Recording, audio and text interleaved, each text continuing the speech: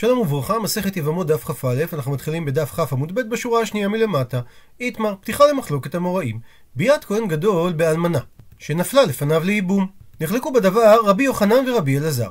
אחד אמר אינה פותרת צרתה, ואחד אמר פותרת צרתה. הוא מסביר רש"י שפותרת הכוונה שהיא פותרת את עצמה ואת צרתה מן החליצה, שהואילה ביאת הכהן הגדול לקנות אותה, ולכן אם רוצה להתגרש, מספיק שייתן לה גט. הפכנו דף ומברר את הגמרא.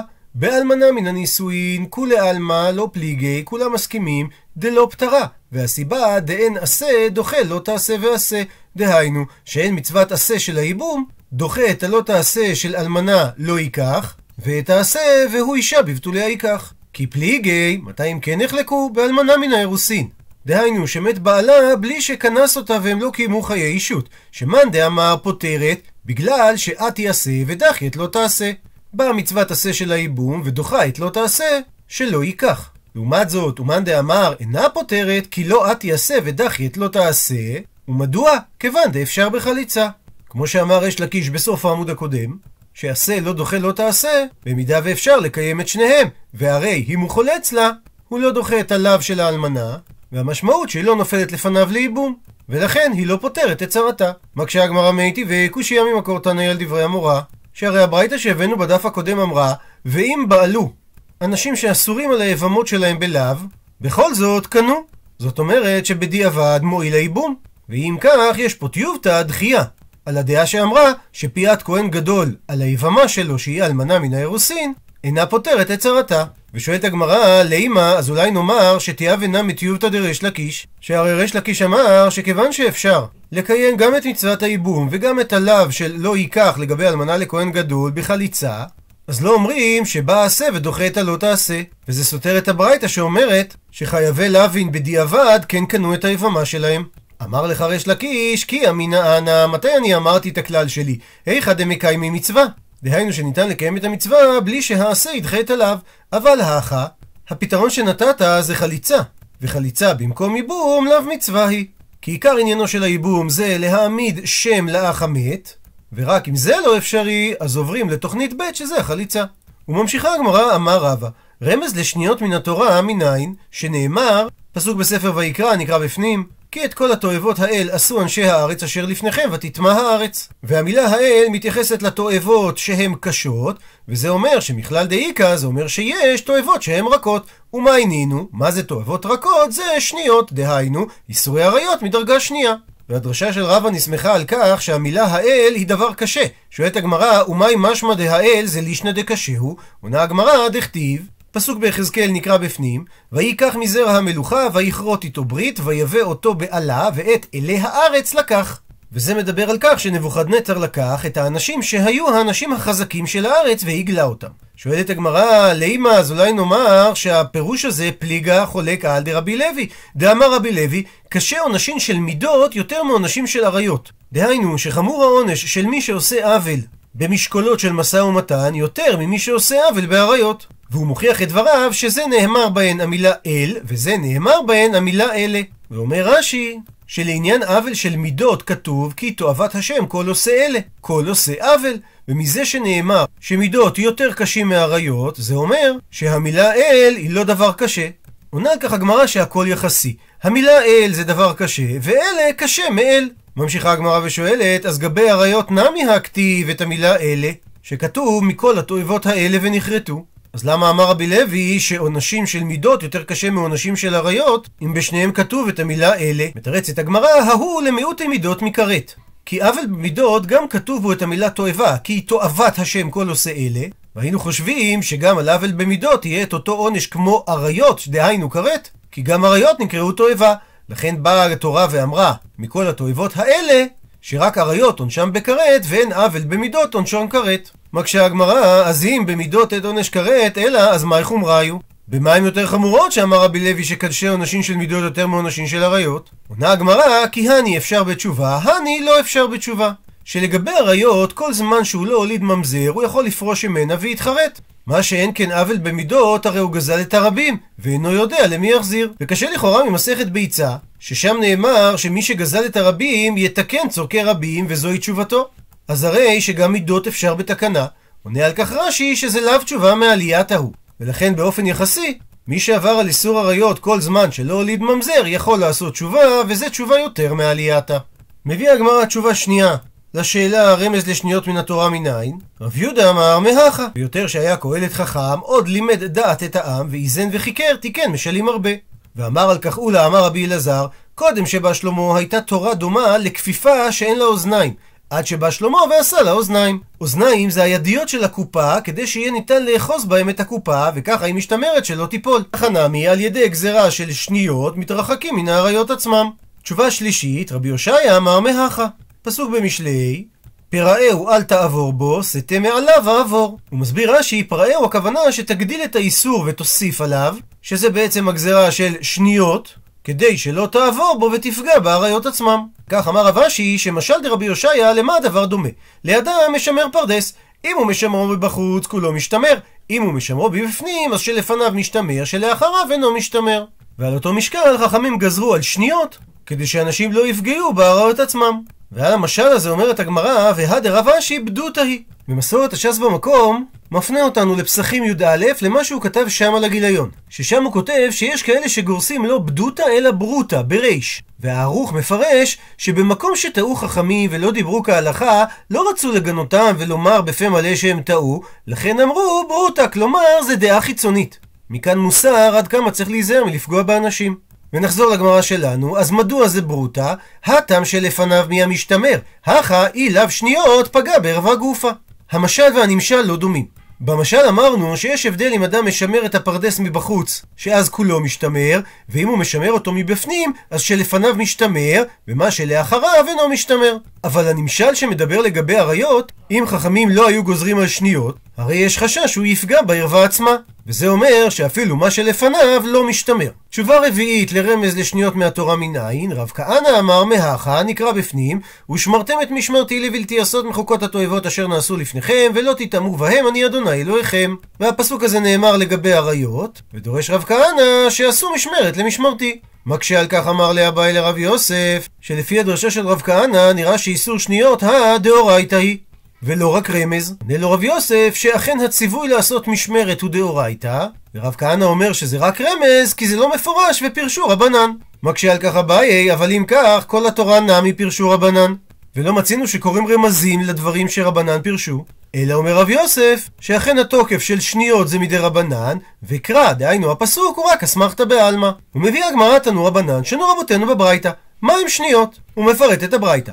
אם אמו ואם אביו ואשת אבי אביו ואשת אבי אמו ואשת אחי האב מן האם ואשת אחי האם מן האב וכלת בנו וכלת ביתו ומותר אדם באשת חמיו ובאשת חורגו ואסור בבת חורגו. ובמקביל וחורגו מותר באשתו וביתו. וכך יוצא מצב שבאשת חורגו אומרת לו אני מותרת לך וביתי אסורה לך. הוא מסביר רש"י אם אמו היא באיסור שניות, כי אמו כתובה בתורה כאריות, וגזרו רבנן על אם אמו כדי שלא יפגע באמו. והם גזרו נמי באם אביו משום אם אמו. ואף על גב, ורש"י מקדים פה שאלה שהגמרא תאמר בהמשך, שזה הרי גזרה לגזרה. תענה על כך הגמרא, משום ששתי הנשים הללו נקראות אימא רבתא, ולכן ניתן להתבלבל ביניהם. אז אם חכמים גזרו על אם אמו, הם היו צריכים לגזור גם על אם אביו.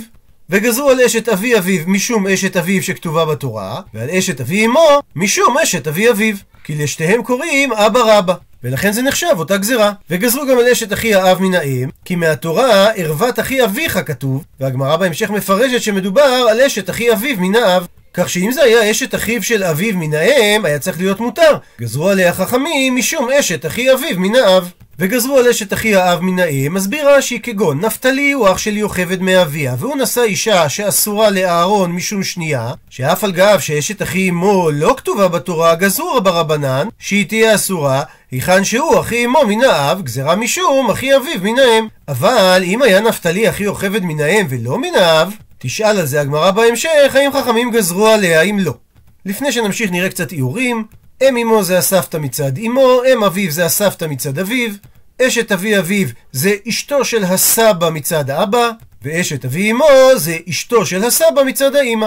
אשת אחי האב מן האם זו אשתו של הדוד שהוא אח של אבא שלו מאמו, ואשת אחי האם מן האב זו אשתו של הדוד שהוא אח של אמא שלו מאבא שלה. וגזרו על כלת בנו משום כלתו, ועל כלת ביתו גזרה משום כלת בנו. הוא מותר אדם באשת חורגו, שזה הבן של אשתו, אבל הוא אסור בבת חורגו. הוא מקדים רש"י את שאלת הגמרא בהמשך, שהרי בת חורגו זה איסור דאורייתא, ומדוע שנתה אותה הברייתא ברשימת השניות. ושוב נחזור לאיורים. כלת בנו זה האישה של הנכד מהבן, וכלת ביתו זה אשת הנכד מהבת. ומותר אדם באשת חמיב, נבין לפי הדוגמה הבאה. יוסף התחתן עם לאה ואסתר, ולאה ילדה לו את זלפה.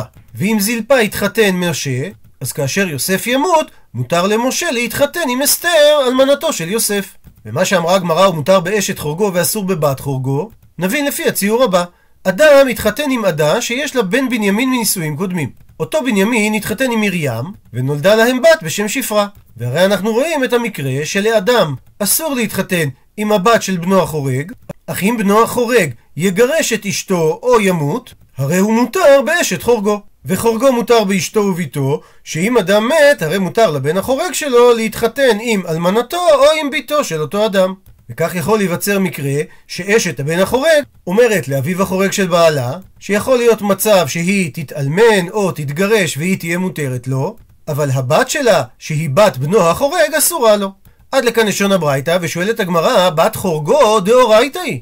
דכתיב, נקרא בפנים, ערוות אישה וביתה לא תגלה, את בת בנה ואת בת ביתה לא תיקח לגלות ערוותה, שהרה הנה זימה היא. ומדוע הזכירו אותה בברייתא לעניין שניות? מתרצת הגמרא, משום דקמאי למיתנא סיפא, כי רצו להביא את המקרה בסוף הברייתא, שאשת חורגו אומרת לו, אני מותרת לך וביתי אסורה לך, ואף אגב דביתי אסורה לך מדאורייתא, בדידי לא גזרו ברבנן.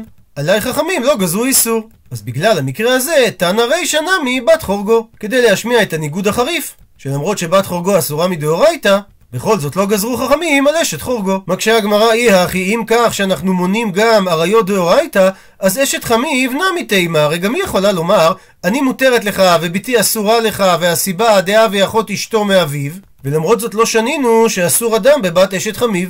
ונעזר באיורים כדי להבין. משה התחתן עם שפרה ופועה, שפרה הולידה את מרים ופועה הולידה את אסתר. אסתר התחתנה עם אדם. אז שפרה, שהיא האימא החורגת של אסתר, יכולה לומר לאדם, שהוא הבעל של אסתר, שמרים ביתה אסורה עליו כי היא אחות אשתו מן האב, אבל במידה ושפרה תתגרש או תתאלמן ממשה, הרי היא מותרת לאדם. מתרצת הגמרא, הפסיק עלי, הלא פסיק עלי. את בת חורגו שנינו, כי היא לעולם אסורה לו. אבל את בת אשת חמיב לא שנינו, כי אמנם היא אסורה לו משום אחות אישה, אבל הרי יש מצב שאשתו תמות ואז היא תהיה מותרת לו. זאת אומרת שהיא לא אסורה לו באיסור מוחלט, ולכן לא שנה אותה התנא. וממשיכה הגמרא, מה רב? ארבע נשים יש להם הפסק. הוא מסביר רש"י, יש להם הפסק לגבי הדורות שלמעלה הן ולמטה מהן שהם מותרים. אבל הנשים האחרות, כגון אם אמו, אין להם הפסק שלמעלה ממנה עד סוף כל הדורות היא נחשבת שנייה, ואותו דבר לגבי אשת אבי אביו ואם אבי אביו למעלה מהם עד לעולם אסור. כגון אשת אבי אבי אביו או ואם אבי אבי אביו. דהיינו, שלא רק הסבתא מצד אמו אסורה, גם הסבתא רבא אסורה, גם הסבתא של הסבתא אסורה עד סוף כל הדורות. ואותו דבר לגבי שאר הנשים. וכן לגבי למטה, שזה לא רק הכלה של הנכד, אלא גם הכלה של הנין, והכלה של הנכד של הנין, וכולי עד סוף כל הדורות. ואומרת הגמרא, נקית רב בידי תלת, שרב ידע לפרש שלוש מתוך ארבעת הנשים, והוא לא ידע מי האישה הרביעית. אבל הוא כן ידע במסורת מרב שיש ארבע נשים שיש להם הפסק. והוא מנה את אשת אחי האם מן האב, ואשת אחי האב מן האם, וכלתו. וזעירי מוסיף את הרביעית, אף אשת אבי אמו. הוא מסביר רש"י. אשת אחי האם מן האב היא לבדה באיסור שנייה, אבל אשת אחי אם אמו מותרת. ואשת אחי האב מן האם גם היא לבדה באיסור שנייה, אבל אשת אחי אביו מן האם מותרת. ומסביר רש"י את טעם הדבר, משום שלא שייך בהם ערווה דאורייתא. מה שאין כן באם אמו, שייך בדורותיה ערווה דאורייתא כגון אמו. ואותו דבר לגבי אשת אבי אביו, שיש בדורותיה אשת אב שהיא באיסור דאורייתא, ולכן אם אביו, שאומנם היא לא שייכת באיסור ערווה דאורייתא, בכל זאת אין לה הפסק והיא תהיה אסורה. ואותו דבר גם אם אבי אביו, כי היא יכולה להתבלבל אצל אנשים עם אם אם אמו. וגם לגבי כלתו יש לה הפסק, ובהמשך הגמרא תעמיד שמדובר על כלת בת ביתו, אבל כלת בת בנו אין לה הפסק. וזעיר יוסיף גם את אשת אבי אמו שיש לה הפסק. דהיינו שאנחנו מתירים את אשת אבי אבי אמו, הואיל ולא שייך בדורות הללו אישות אב דאורייתא. ועל כך אמר רב נחמן בר יצחק וסימנך, אם אתה רוצה סימן כדי לזכור מה אמר זעירי ומה אמר רב, אז תזכור דאילי דרב, שרב מנה שלוש נשים שהן דור אחד למעלה מהשניות, שהרי הוא החשיב את אשת אחי האם, וזעיר לה דור אחד למעלה. שואלת הגמרא, ורב, מה הייתה לא חשיב לי, מדוע הוא לא ספר את מה שאמר זעירי, את אשת אבי אמו? עונה הגמרא כי מחלפה לי באשת אבי אביו. שאם תאמר שאשת אבי אמו יש לה הפסק, אנשים יכולים להתבלבל ולומר שגם לאשת אבי אביו יש הפסק. וזה לא נכון, שהרי באותם דורות יש איסור אישות דאורייתא. מקשה הגמרא, וזעירי, מדוע הוא לא חשש כמו רב שיבואו להחליף את אשת אבי אמו עם אשת אבי אביו? עונה הגמרא, כי להתם שכיח ואזיל, להכן לא שכיח ואזיל. שלמשפחת אביו אדם רגיל ילך, אז הוא יודע שיש שם קורבה יותר ממשפחת אמו, ולכן אין חשש שהוא יבוא להחליף את אשת אבי אמו עם אשת אבי אביו. ושואלת הגמרא, איך רב אמר שכלתו היא אחת מארבע אנשים שיש להם הפסק. הפכנו דף, הרי דאורייתא היא דכתיב, ערוות כלתך לא תגלה, אשת בנך היא לא תגלה ערותה. מתרצת הגמרא אימה, תאמר, לא כלתו, אלא כלת בנו. מקשה הגמרא, וכלת בנו יש לה הפסק? והתניא, והרי שנינו בברייתא במסכת כריתות, כלתו ערווה, כלת בנו שנייה. וכן אתה אומר בבנו ובבן בנו עד סוף כל הדורות. זה אומר שלכלת בנו אין הפסק. מתרצת הגמרא, אלא אימה לא כלת בנו, אלא כלת ביתו. דאמר רב חיסדא, המילתא את הדבר הבא מגברא רבא שמיע לי, מאדם גדול שמעתי, ומנו ומי זה רבי עמי, שהוא אמר לא אסרו כלה אלא מפני כלה. ואומר רב חיסדא, ואמרו לי כלדי, דהיינו אחוזים בכוכבים, מה לפנה הבית, אדם חכם תהיה. ואומר רב חיסדא, אמינא, אמרתי לעצמי, אי גברא רבא אבינה, אם הם התכוונו שאני אהיה אדם גדול בתלמוד, אז אסברה, אני אבין את דברי רבי עמי מדעתי, ואני לא אצטרך לשאול את פירוש המימרה שלו בבית המדרש. אבל אם הם התכוונו מקרי דרדקי אבינה, שאני אהיה מלמד תינוקות, ממילא אני לא אבין את מה שאמר רבי עמי, רשאי למרבנן דעתו לבי כניסתא. אני אצטרך לשאול את החכמים בבית המדרש, כי אני לא אבין את זה לבד. השתא, עכשיו קודם כל אני אנסה סברתה מדעתי. והוא מפרש שמה שרבי ימי אמר לא אסרו כלה אלא מפני כלה, הכוונה שלא אסרו כלת ביתו אלא משום כלת בנו. שהרי בבת של האדם אין איסור של כלה דאורייתא, וכל הסיבה שגזרו בה זה משום כלת בנו, שבבן יש צד של כלה דאורייתא, לדוגמה אשת בנו. ומביאים עכשיו האמוראים דוגמאות מימיהם. אמר לאביי לרבה, אסבר עלך, אני אסביר לך את הדבר בדוגמה, כגון כלתה דבי ברציתאי. שהייתה לו גם כלת הבן וגם כלת הבת, ואנשים יכולים להתבלבל ביניהם. רב פאפה אמר כגון כלתה דבי רב פאפה בר אבא, ורב אשי אמר כגון כלתה דבי מרי בר עיסק. והריטב"א מדייק שהמכנה המשותף בין שלוש הדוגמאות שיש גם כלת הבן וגם כלת הבת. ולכן אולי התכוונו האמוראים לומר שחכמים מסרו את כלת הבת רק במקרה שיש גם כלת הבן. וממשיכה הגמרא היא בעיה לו, נשאלה להם השאלה הבאה אשת אחי האם מן האם מהו? דהיינו, האם אשת אחי אמו מן האם נחשבת שנייה? שאולי נאמר על אשת אחי האב מן האם ואשת אחי האם מן האב דאיכא בהם צד אב, אז רק עליהם הוא דגזרו רבנן. אבל היכא דליקא צד אב, אולי נאמר שלא גזרו בו רבנן, או דילמה לא שנה. או אולי אין הבדל, גם במקום שאין צד אב, גזרו חכמים שניות. עונה על כך, אמר רב ספרא, הרי היא גוף הגזרה, ואנא ניקום ונגזור גזרה לגזרה? הרי אשת אחי האם מן האב, היא אסורה בגלל גזרה דה רבנן. כך שגם אם אנשים יטעו בה, הם לא יעברו על איסור דאורייתא אלא רק על איסור דה רבנן. אז למה שנגזור גזרה לגזרה, ונאסור גם את אשת אחי האם מן האם? דוחה את הדברים, אמר רבא, אטו כולהו, לאו גזרה לגזרה נינו. האם לא כל איסור שניות זה גזרה לגזרה? והוא מפרט. אמו זה איסור ערווה, ואם אמו זה שנייה, וגזרו על אם אביו משום אם אמו. וטעם המאי, מה הטעם שגזרו? כי כולו דבי אמא רבתי קראו לי. שגם לאם אמו וגם לאם אביו, קוראים להם אמא רבתי, דהיינו סבתא. אז אנחנו לא מתייחסים לגזרה על אם אביו כגזרה לגזרה כדי שלא יפגעו באם אמו, אלא אנחנו מתייחסים לכולם כגזרה אחת של סבתא. דוגמה נוספת, אשת אביו זה איסור ערווה. אשת אבי אביו זה שנייה, וגזרו על אשת אבי אמו משום אשת אבי אביו. וטעם המאי, ומדוע גזרו? כי כול הוא דבי אבא רבא קראו לי. כי לשתיהם, גם לאשת אבי אמו וגם לאשת אבי אביו, קוראים אשתו של הסבא. ולכן זה נחשב גזירה אחת. דוגמה אחרונה שהוא מביא, אשת אחי האב מן האב זה איסור ערווה. אשת אחי האב מן האם זה שנייה, וגזרו על אשת אחי האם מן האב משום אשת אחי האב מן האם. וטעם המאי ומדוע גזרו? משום דכולהו דבי דודי קרעי להו. כי לשתיהם, גם לאשת אחי האם מן האב וגם לאשת אחי האב מן האם, קוראים אשת הדוד. עד לפה הדחייה של רבא לתשובתו של רב ספרא, וממילא השאלה על אשת אחי האם מן האם, חוזרת ושואלת הגמרא, מהי? מה דינה? האם גם עליה גזרו חכמים? ואומרת הגמרא, תשמע, בוא שמע הוכחה. דקי עתה רב יהודה בר שילה, מארץ ישראל לבבל, הוא אמר שאמרי במערבה, אומרים בארץ ישראל, כל שבנקבה ערווה, בזכר גזרו על אשתו משום שנייה. ואמר רבא על דברים אלו וכלל ההוא? הרי יש מקרים שבהם זה לא נכון. לדוגמה, חמותו היא באיסור ערווה, ולמרות זאת אשת חמיב, שהיא המקרה המקביל בזכר, היא מותרת ולא גזרו עליה משום שנייה. דוגמה נוספת, בת חמותו היא באיסור ערווה, אבל אשת בן חמותו, שהיא המקרה המקביל בזכר, היא מותרת ולא גזרו עליה משום שנייה. דוגמה נוספת, בת חמיב היא באיסור ערווה, אשת בן חמיב, שהיא המקרה המקביל בזכר, מותרת ולא גזרו עליה משום שנייה. דוגמה נוספת, חורגתו היא באיסור ערווה, אשת חורגו, שהיא המקרה המקביל בזכר, מותרת ולא גזרו עליה משום שנייה.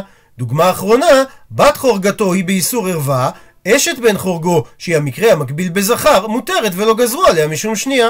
אבל אם כך, והדר רב יהודה בר שילה לעיתויי מאי, מה הכלל שלו בא לרבות? לאו לעיתויי, האם זה לא בא לרבות את אשת אחי האם מן האם? שהיא אסורה משום שנייה, כי היא עונה על הכלל, דכל שבנקבה ערווה, בזכר גזרו, על אשתו משום שנייה. ואם כך הוכחנו, שחכמים אכן גזרו על אשת אחי האם מן האם באיסור שנייה. ומקשה הגמרא, מה ישנהני ומה ישנהה? מה שונות אשת חמי ואשת בן חמי ובן חמותו ואשת חורגו ובן חורגו, שאף על גב שבצד הנקבה יש איסור ערווה, בצד הזכר מותר באשתו, מה שאין כן לגבי אשת אחי האם מן האם, שכן גזרו עליה משום שנייה. מתרצת הגמרא, הא בחד קידושין מקרב לה, הני עד דאיכא תרי קידושין לא מקרבא להו. דהיינו, אשת אחי האם נוצרת שם הקרובה על ידי קידושין פעם אחת, שבקידושין שקידשה אחי אמו, נעשה בן האחות קרוב שלה.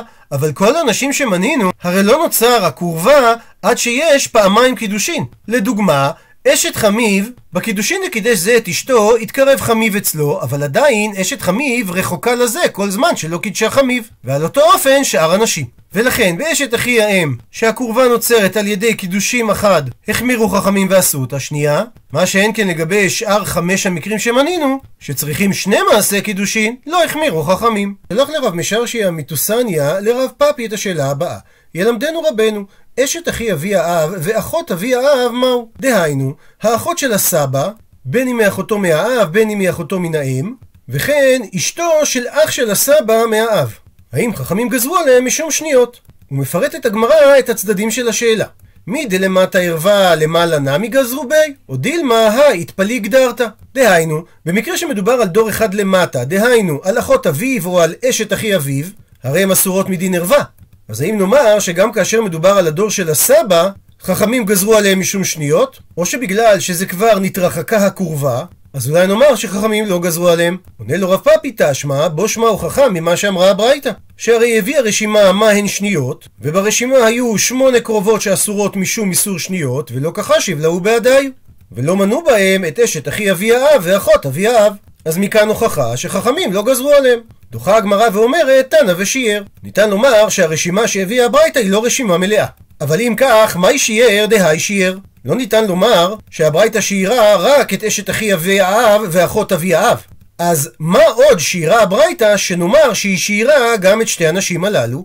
עונה על כך הגמרא, שיער את שניות דבי רבחיה. והגמרא תפרט אותם בדף הבא. אז כמו שאותם לא שנינו, לא שנינו גם את אשת אחי אבי האב ואחות אבי האב, וייתכן שהן אכן אסורות משום שניות. ומספרת הגמרא שהמימר אח שר באשת אחי אבי אביו ובאחות אבי אביו. דהיינו, הוא התיר להתחתן איתם. הקשה על כך אמר לרב הלל לרב אשי, לדידי חזיה לי, אני ראיתי את הרשימה של שניות בשם מר ברי דרבנה, וכתיבה שיצרה לאיסורה. וכתוב שם 16 נשים שהן אסורות משום שניות. רב הלל זכר כנראה רק את המספר, והוא לא זכר מי בדיוק היו הנשים, ולכן הוא מנסה להגיע לאותן נשים לבד, ואומר באופן הבא: מה אליו, האם לא מדובר תמני דמתניתא. דהיינו שמונה אנשים מהברייתא בעמוד הקודם, ושיט ועוד שש נשים דבי רבחיה, ואם כך, והנחתרתי, ועוד שתי אנשים, אשת אחי אבי האב ואחות אבי האב, שגם הם אסורות משום שניות, הא, וביחד זה מגיע לשיצרי. אז איך המימר הכשיר להתחתן איתם? עונה לו רב אשי כמו יהודי טוב בשאלה, ולטעמך, הרי לשיטתך, שיבשרי אביאן. ברשימה היו צריכים להיות 17 נשים שאסורות משום שניות. דהאיכא שהרי יש גם את אשת אחי האם מן האם. דפשטינא לאיסורא, שפשטנו בראש העמוד שגם היא אסורה משום שניות. ומזה שאתה ראית ברשימה רק 16 נשים, כנראה שהרשימה הזאת לא נכונה. דוחה אותו רב הלל, הלא קשיא, זה לא קושייה למה יש רק 16 נשים ברשימה ולא 17, הפכנו דף, הנחתתן דדמיין להדדי כחד החשיב להו. יש שתי נשים שזה אשת אחי אבי האב ואחות אבי האב, ששתיהן מצד אחווה דאב, ולכן הן דומות אחת לשנייה, וכנראה שעל שניהם חכמים גזרו משום שניות לאריות, כי מלמטה מהם יש ערווה, וכך יוצא והשיצרי. אז יש בסופו של דבר ברשימה 16 נשים, ואם כך חוזרת השאלה, והא מכל מקום לדידי חזיולן דכתיבן לאיסורה. ואם הן כתובות לאיסור, איך המימר התיר להתחתן איתם? אמר לי, עונה לו רב אשי לרב הלל ולטעמך, הרי לשיטתך, איה וכתיב להתרה. אם הנשים הללו, אשת אחי אבי האב ואחות אבי האב, היו כתובות ברשימה הזאת כנשים שמותר להתחתן איתם. מי הוות שמחת עליו? האם היית סומך על הרשימה הזאת דמר ברי דרבנה מי חתים עליו? האם יש חתימה של מר ברי דרבנה על הרשימה הזאת? אז השתנמי, גם עכשיו, דכתיב לאיסורה, עדיין לאו מר ברי דרבנה חתים עליו. ובגלל שהוא לא חתום על הרשימה הזאת, לא בהכרח שזה מגיע ממנו, ולכן אין בזה סתירה למה שהמימר התיר להתחתן איתם. עד לכאן דף כ"א.